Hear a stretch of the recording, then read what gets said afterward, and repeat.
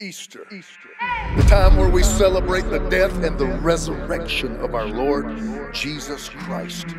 A time where we understand and it is made clear and evident to us that dead things can live again. And just like the Spirit that raised Jesus from the dead now lives in us, come alive to the dead dreams. Come alive to the dead visions. Come alive to the dead relationships. Come alive the dead marriages. Come alive to the dead lives and to the futures that lay barren. We believe that this resurrection life is in us, and we prophetically declare to everything in our life and in our future, come alive in Jesus' name.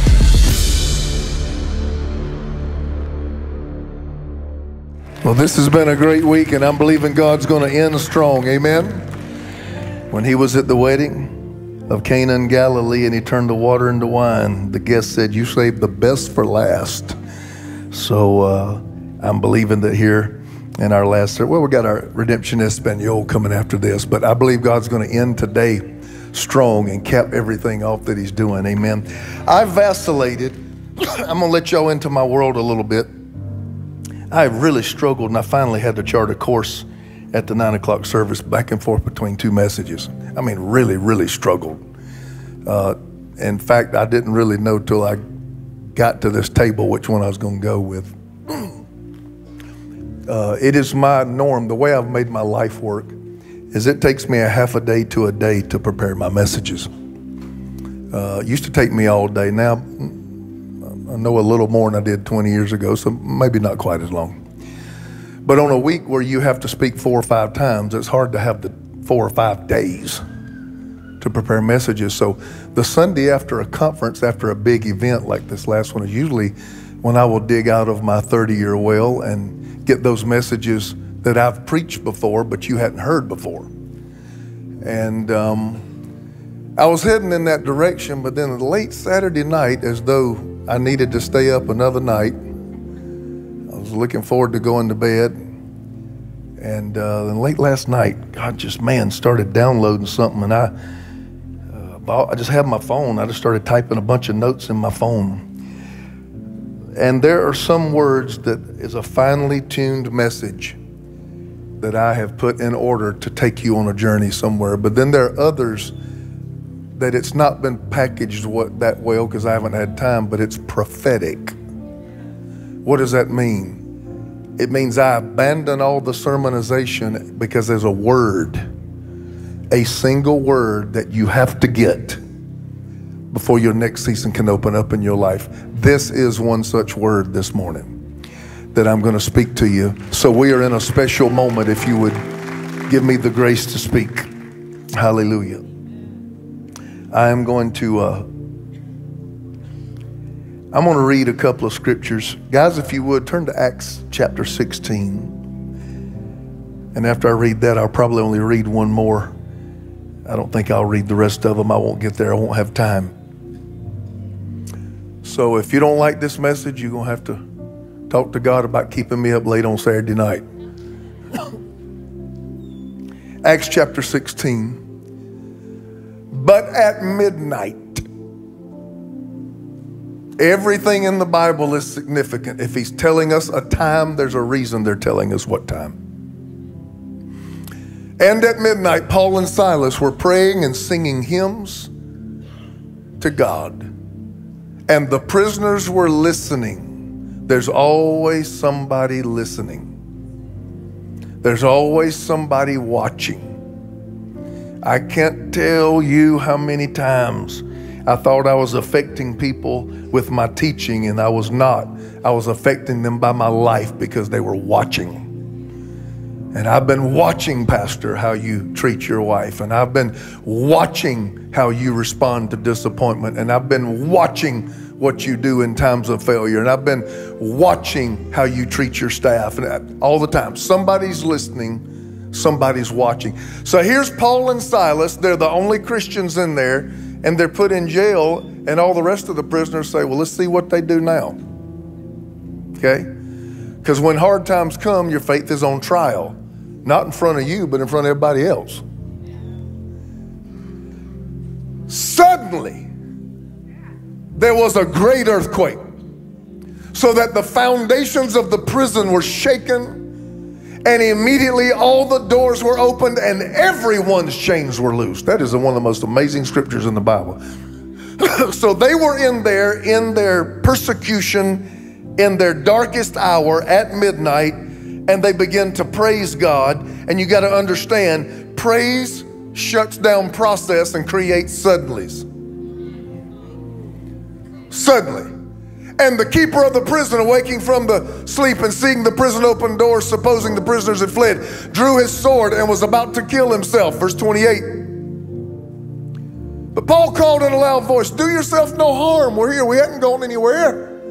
Verse 29. Then he called for a light, ran in, and fell down trembling before Paul and Silas. And he brought them out and said, Sir, what must I do to be saved?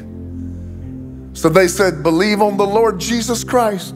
Boy, that's simple, isn't it? Believe on the Lord Jesus Christ and you will be saved, you and your whole household. He said, God ain't just gonna save you, He's gonna save everybody and everything connected to you. You are the entry point for how many people God wants to touch. you and your whole household. So they spoke the word of the Lord to him and all who were in his house. Verse 33. And he took them to the same hour of the night and washed their stripes. And immediately he and all his family were baptized. Verse 34. Pardon me. now, when he had brought them into his house, he set forth food to them and rejoiced, having believed in God with all the household. Verse 35. And when it was day, the magistrates or the judges sent the officers, saying, Let those men go. Chains to freedom. Father, in Jesus' name, bless your word and help me to communicate well. And everybody said, Amen. For those of you visiting at this church, we talk to each other. Amen. So tell your neighbor on both sides, here we go, here we go, here we go.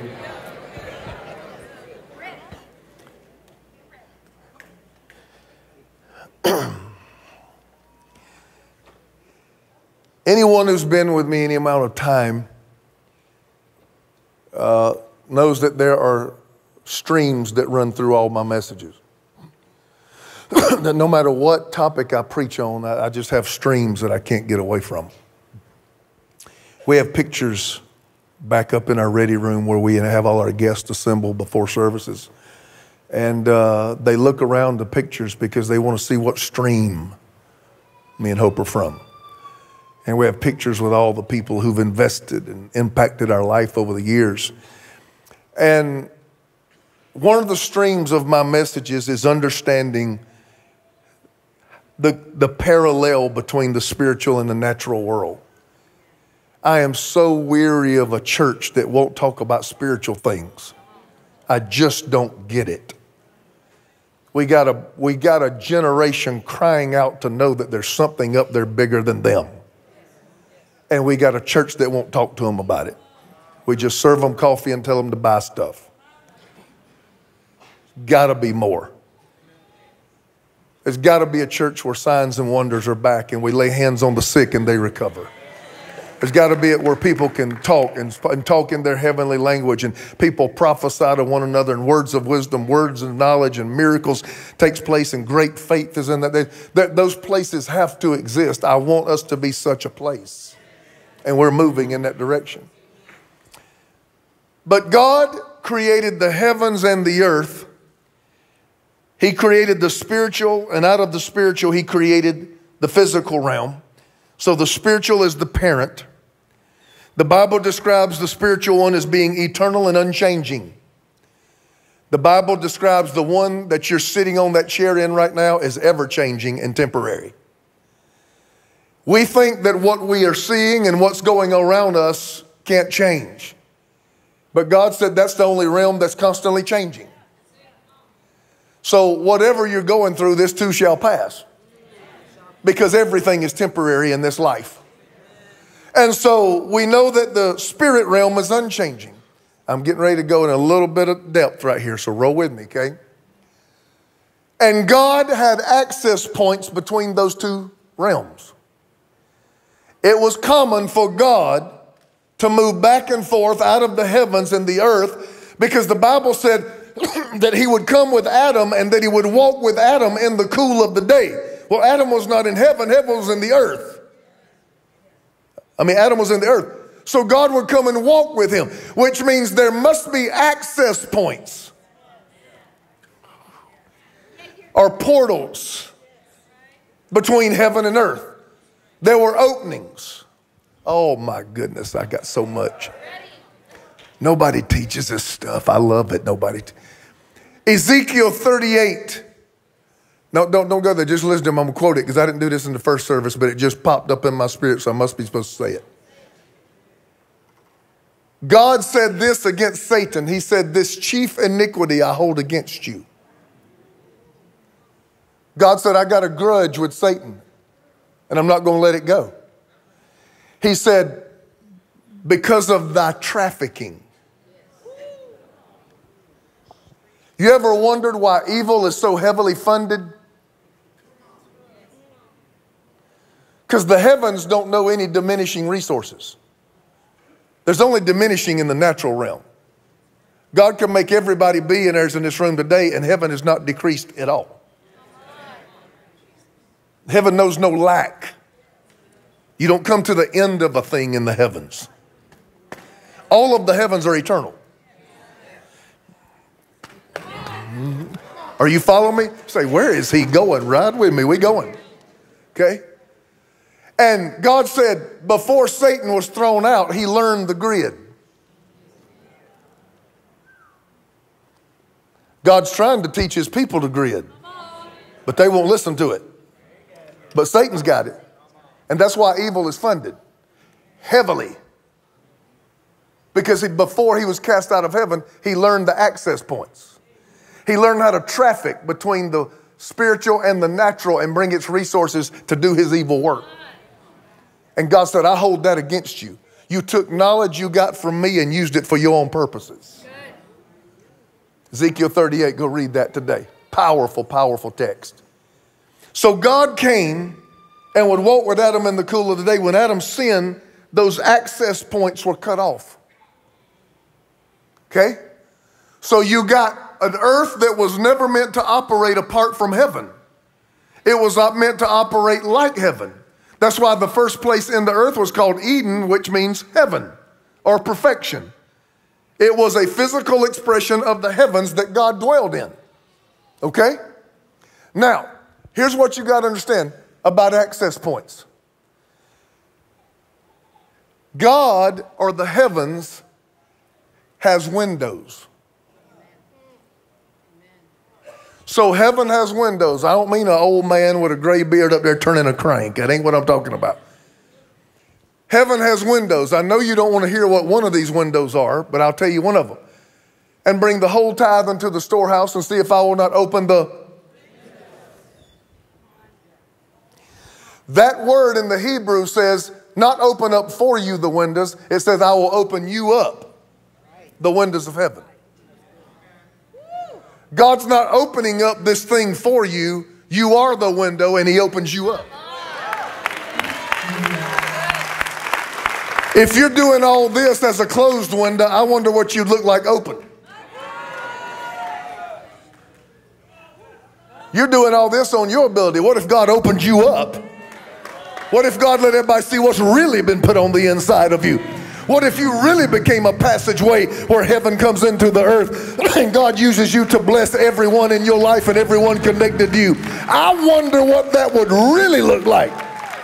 So God said, Bring the tithe into the storehouse, and then here's what I'll do. You are a window of heaven, and I will open you up. I will use you. You will be the one, or whoever I want to get it to, you will be the window by which I get it into the earth. I want to be a window of heaven. If God wants to do it in the earth, I want to be the window. If God wants to do it in the Bay Area, the Silicon Valley, I want to be a window. Does anybody want to be a window with me? I hope God looks in this building and just sees a whole building of windows. I hope God looks on these cameras and just sees windows everywhere. Windows, windows, windows. Somebody shout, God, open me up.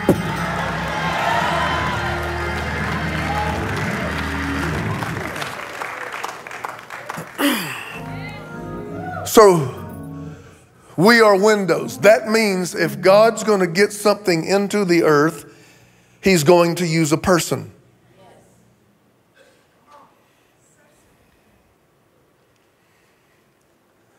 Well, Lord, I pray that you would bless them. Okay, then you need to get up and go bless them.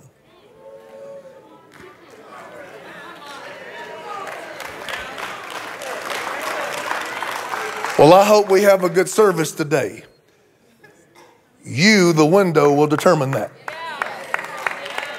Whether we have a good service is not up to God, it's up to the windows.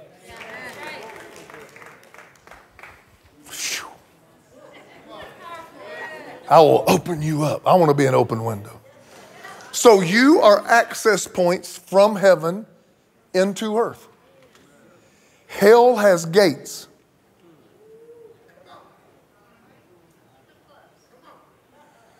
Heaven has windows, hell has gates. And just like heaven's windows are people, hell's gates are people. If God wants to bless you, He will send a person into your life. If hell wants to curse you, He will send a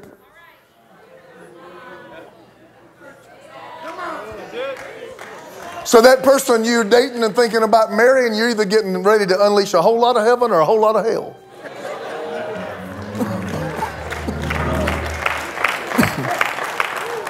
Is anybody in this building with the preacher today? I want to say you okay.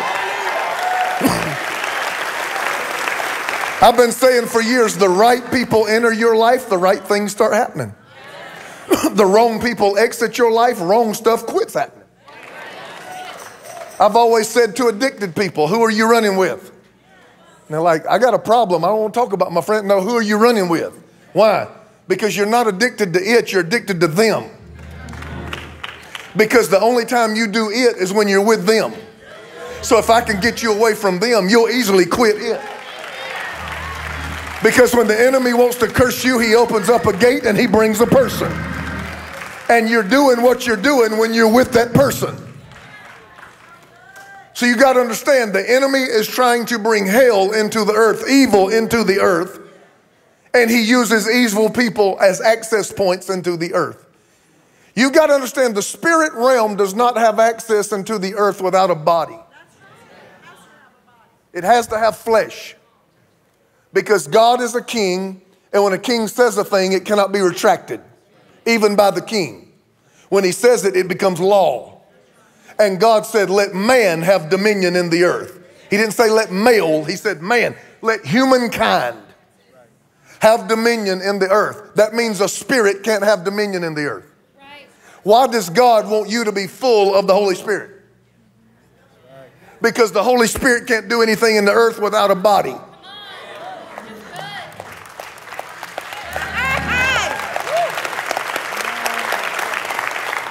I, am not even preaching on a salad level. I sure ain't gonna get a steak, am I? I can just tell.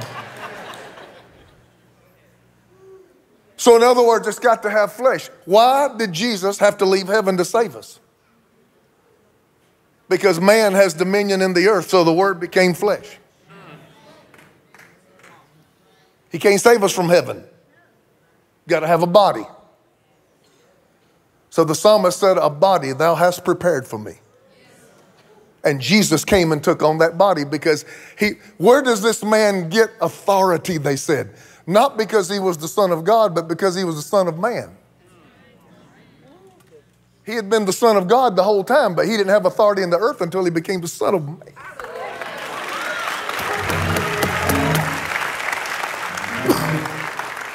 Are you following my logic? I'm going somewhere with it.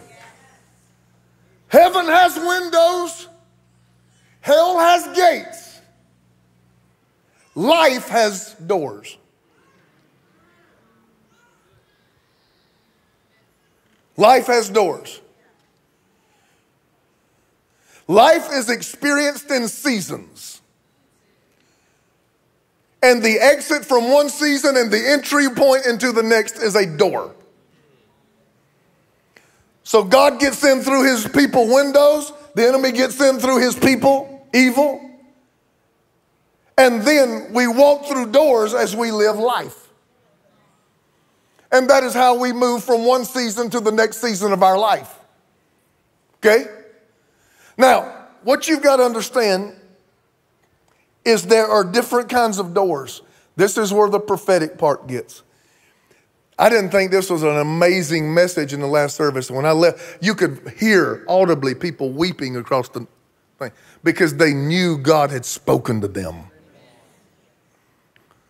So, God, give us that same result today. Some doors are physical doors. Those doors right there are physical doors, which means if you don't put forth force, they're not going to open. Now, let me tell you the key to a door. The door is contradictory within itself because a door is there to keep things out.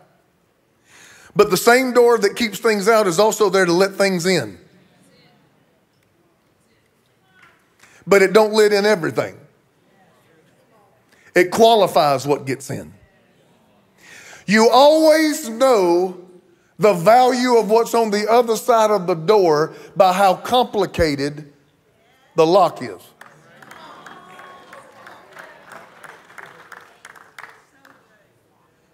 I'm not putting a $100,000 watch behind a door with a $3 lock.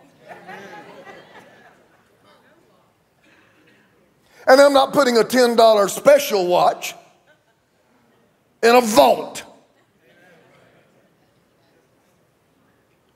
So when I come up on the intricacies of the lock, it's telling me a lot about what is on the other side.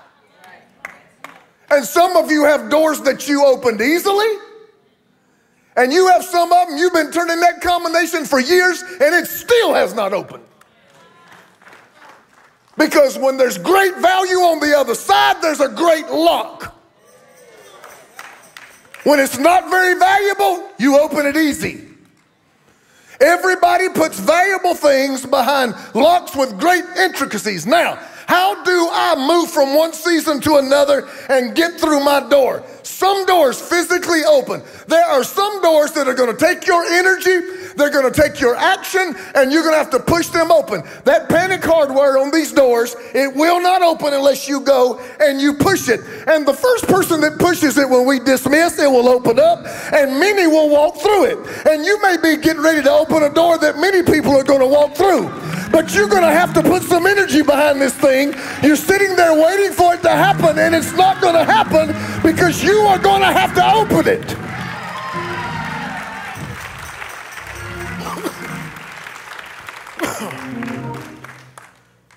the business is not just going to start. You're going to have to push the door open.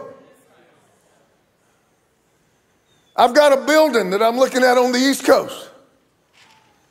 I've been told no by about three people, so now I'm my fourth person deep. Why? Because I'm going to keep pushing it. And I'm going to find the one that'll say yes. Y'all don't know me yet. You will. You keep pushing. These are doors that take force. These are doors that take action. These are doors that take relentlessness. These are doors that will not take no for an answer. These are times where you have to know that God has given you a thing and you will not be denied it. You have to look at it and know it's yours. I'm not talking about arrogance. I'm not talking about being pious. That's not what I'm talking about. But you know that that thing is your thing and you're not going to be talked out of it just because it's difficult. And whatever pressure and energy is needed, you are willing to apply that pressure and energy and force to make sure that that door opens and the thing on the other side comes into your stewardship and your possession. That ought to just give somebody a big amen right there. Hallelujah. Mm, my time's getting away from me. But then there's another kind of door. I'm telling you how, to, how seasons move. There are doors that are on a timer.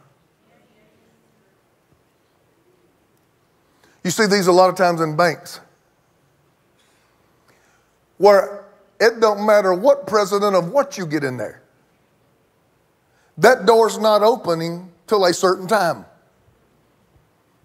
You can bring a nuclear weapon. That's the only thing that's going to get it open. Because it's on a time. I cannot underscore the importance of you knowing the times and the moments of your life. Because the timing doors are on a cycle. And you say, man, I think I just missed it. Well, it's not terminal, but you do have to wait for the opportunity to cycle around again. Mo- Moses and Israel, 40 years of cycles. Joshua comes in three days, we're breaking the cycle.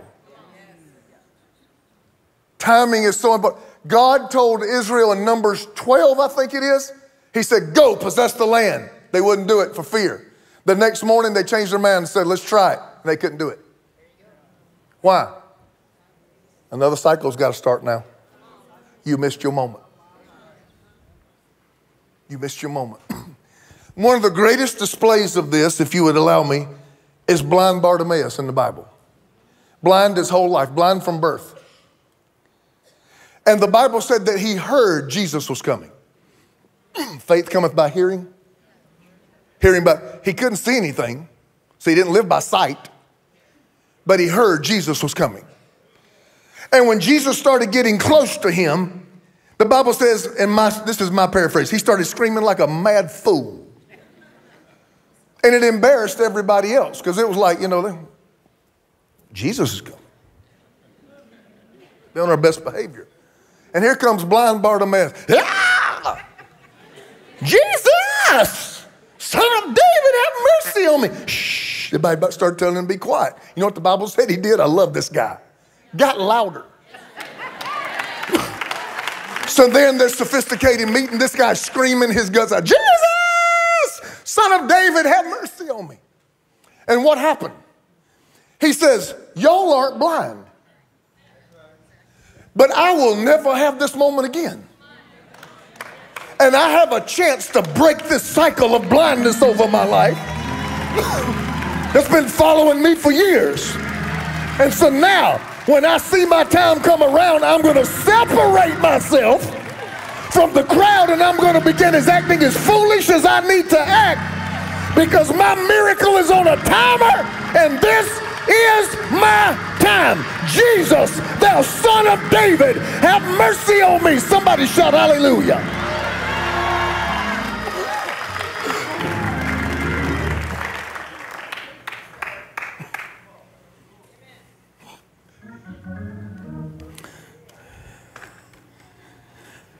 Doors. Then some doors are proximity doors. Malls, hospitals, shopping centers. You get to a certain proximity, you walk in,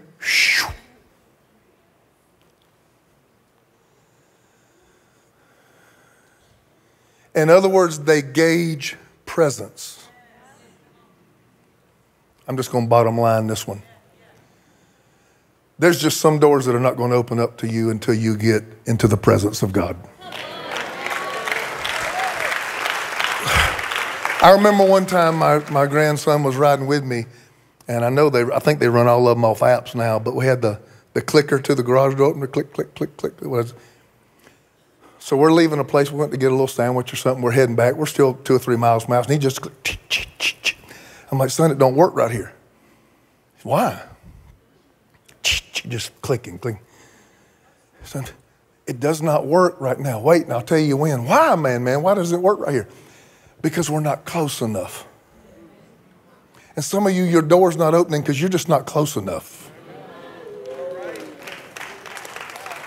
You're just not close enough. Some doors only open with proximity. And when you get close, the door shoo. But that remote won't work, not because it's broken, but because of distance. And you're wanting God to open a God ordained door, although you are distant from Him. Heaven has windows, hell has gates, life has doors. Acts chapter 16 at midnight. And I use this story to close. At midnight. That's interesting, midnight. Why? Do you know what midnight is?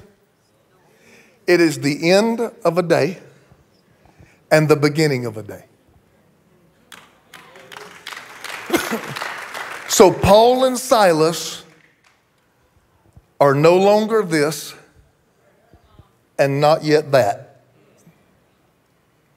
They're at a door.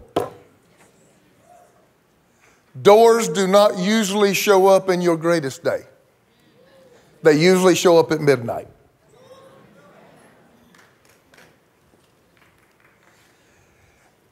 And said they were singing and praising God and singing hymns. What amazes me is not what they were doing, what amazes me is what they weren't doing.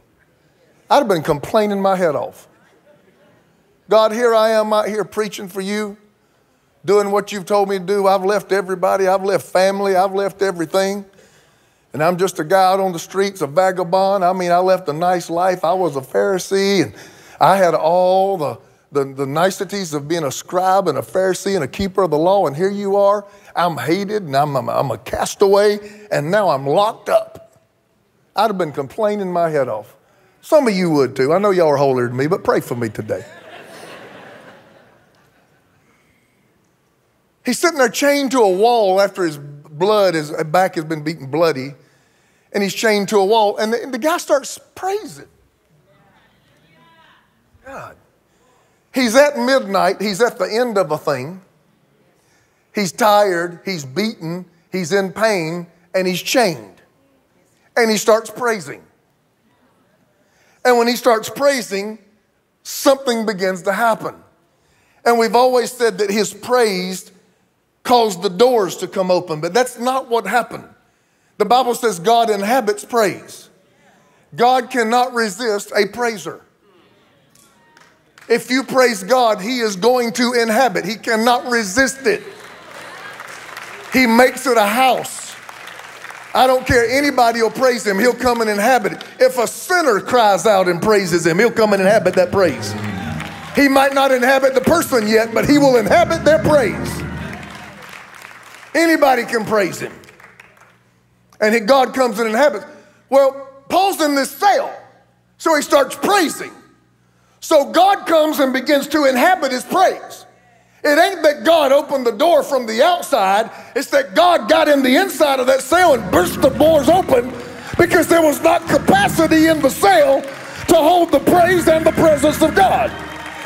And he knew if this door was going to open, it was going to be a presence door. This gate, this door, this passageway. I'm at the end of a thing, I'm at the beginning of a thing, and I'm locked behind this door.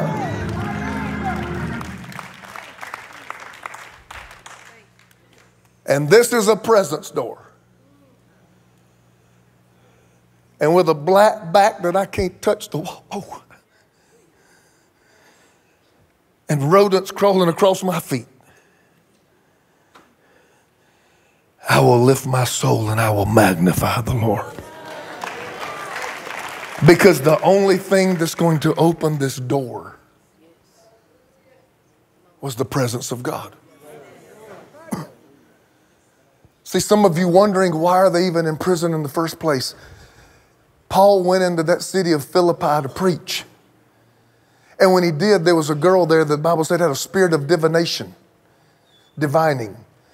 That's especially big from about where we are on up north, Northern California, on up through Oregon and Washington State. Fortune telling, divining, tarot cards, palm reading. So this girl had an issue and a weakness by which she could foretell the future. And the Bible says in Acts 16 that everybody who would bet would go to her and she would tell them how to bet and they would get rich. So Paul comes along and realizes this girl's possessed with the devil. But now everybody around her wants her to stay that way. Be careful running with people that reinforce your issues. they are not your friend. because whenever there's a weakness, there's somebody benefiting from it. And everybody in that town is benefiting. And it's in their best interest that she stay full of the devil because she's making them rich. Paul comes up and realizes he cast that devil out. Now, you would think somebody get free, everybody be happy. They mobbed him and took him to the jailers. He was flogged and in prison for setting a girl free. Why? Because everybody wants to profit off of your weakness. If you can't manage your money and you can't keep your credit score, I promise you there's somebody there to benefit from it. If you didn't have a daddy to affirm you and love you right and show you what a man's really supposed to be and you've become promiscuous, there's a group of men benefiting from it.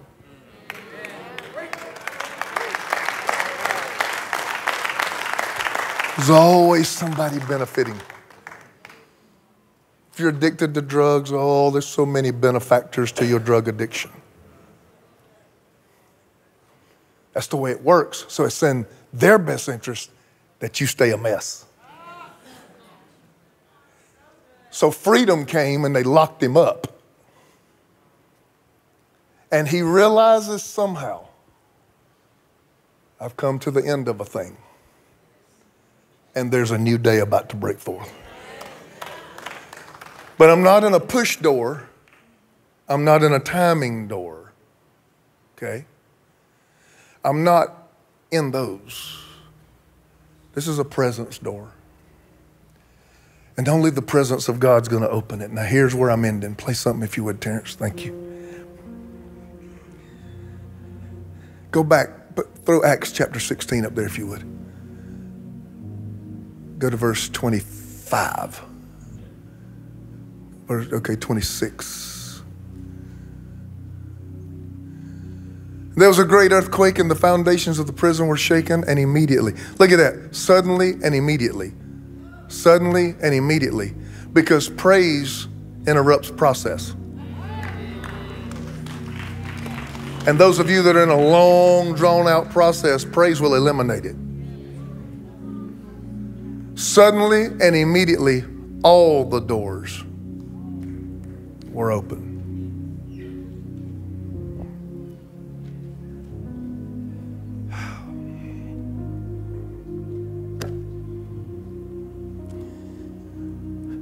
And God kept me up last night and brought me in this morning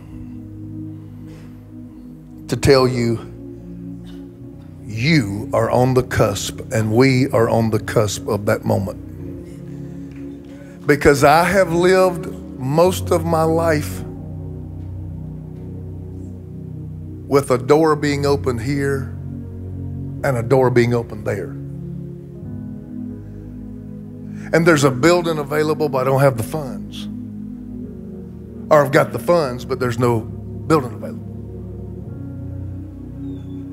I've got the message, but I don't have the people, or I got the people and I don't have the message. And I finally got a wife, I finally got a husband, but now they tell me I can't have kids. So the door's open to the family, but the door's open to the marriage, but it's closed to the family. And I got the scholarship, and the door has been open for me to go back to school, but I don't have anybody to keep my three year old until the door closes. And it's the frustration of not being able to take the open door because of the others that are still closed. And God spoke to my heart. I had 2,000 pages to choose from today. But this time, all the doors open. For the people that have had some doors shut in your face, I want you to stand on your feet and I want you to praise your God. Because the word for redemption is that this is not a door open here and a door closed there, and a door open here and a door closed there. I hear the Lord saying today, all the doors are open. All the doors are open. All the doors are open. I'm not going to quit saying it till you receive it. All the doors are open. All the doors are, oh, all the doors are open. Build somebody's faith. Turn around and tell three people, say, all the doors are open. All the doors are open.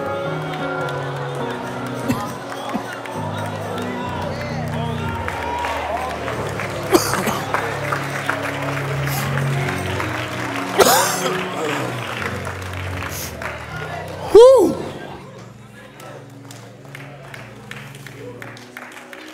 Who in here desperately is in need of a door opening? Desperate. Somebody say it again. All the doors are open. All the doors are open. All the doors are open. All the doors are.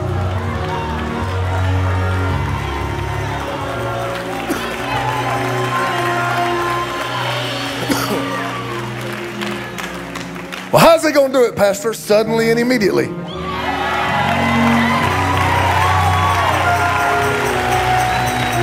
That's all you needed. Let me get you out of here. May the Lord bless you and keep you and make his face shine upon you and may all your doors open in Jesus' name. Somebody shout hallelujah.